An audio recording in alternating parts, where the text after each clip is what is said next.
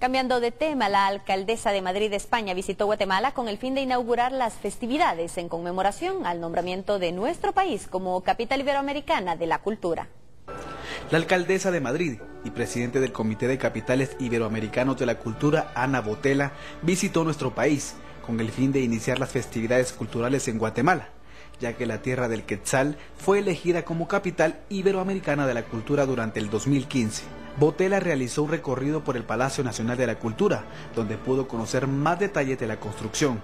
Con una sonrisa en el rostro preguntaba a sus acompañantes algunos aspectos de su interés. En los pasillos y salones del palacio se escuchaban las notas de la canción Luna de Xelajú, música que simpatizó a la invitada. Al finalizar el recorrido por las instalaciones del palacio, Botela fue delegada a realizar el cambio de la Rosa de la Paz.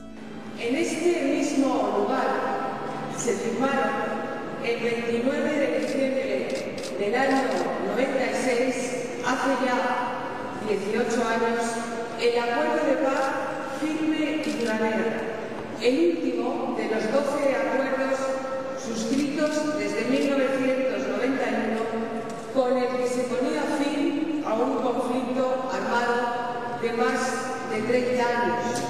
Minutos más tarde, la alcaldesa se reunió con el mandatario Pérez Molina y la vicepresidenta Roxana Valdetti, donde entablaron temas culturales que se desarrollarán en el transcurso del año.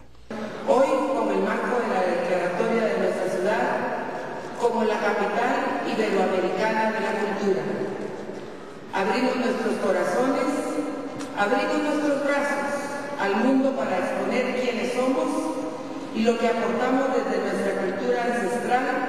y desde las múltiples expresiones artísticas de este bello país.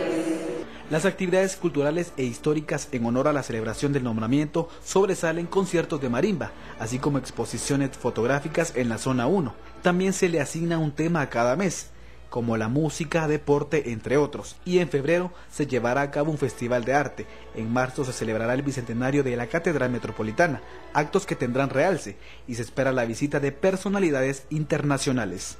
Telediario Información Actual.